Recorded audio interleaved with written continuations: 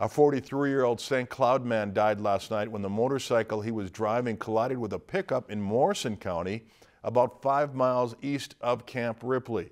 The State Patrol says Eric White was driving the motorcycle northbound on Jewell Road and the pickup was eastbound on 213th Street when they collided in the intersection.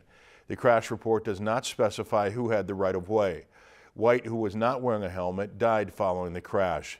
The driver of the pickup, 41-year-old Clarence Bonander of Grantsburg, was not injured.